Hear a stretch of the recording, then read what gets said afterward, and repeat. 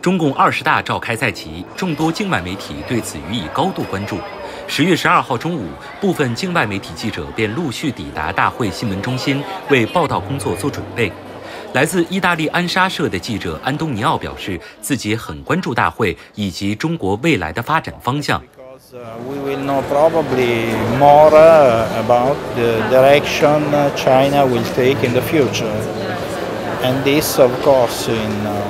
In a globalized world, uh, will have uh, a lot of uh, effect on the on the world. We'll know probably also more about the the top leadership, the new Politburo, this new standing committee. So you know, all these pieces is like a puzzle. All these pieces together will give us a, a clear picture on China. 安东尼奥已经来中国六年了，他表示自己对中国未来的经济发展也很感兴趣。 To be honest, uh, I'm interested, uh, you know, in a very, you know, at large way, from cultural point of view, from the politics point of view, from the economy point of view. I'm um, more interested in, in, the economy because uh, some uh, kind of uh, Chinese strategies may push or not the, the, the, global economy. So this is, I think, is really important also to understand more from this point of view.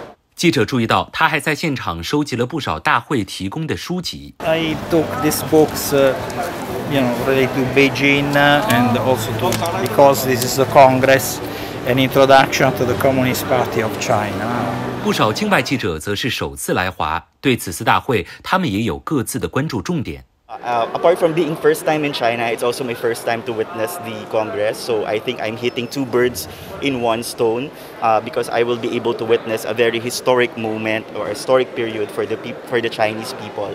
So what I'm really looking forward to the Congress is, um, apart from their accomplishments and the milestones over the decade, I'm also looking forward to hear the speech of President Xi. Uh, uh, I want to hear his policy directions because whatever China does in the future would also be uh, would have an impact to the rest of the world. I'm looking forward to reporting details.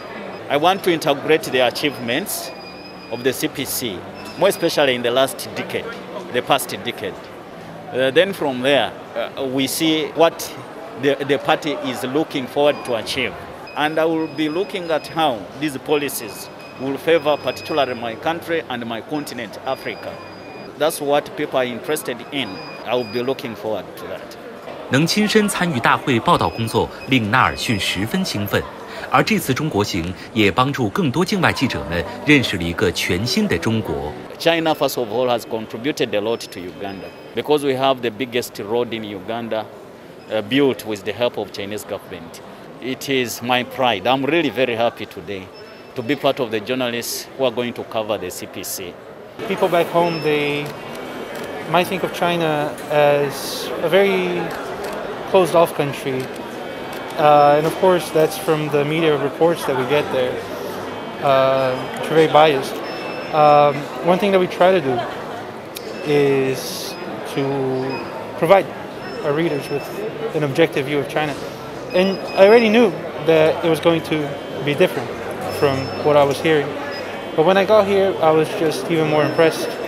Uh, just seeing how how normal things are really. So yeah, I'm I'm very very impressed by it.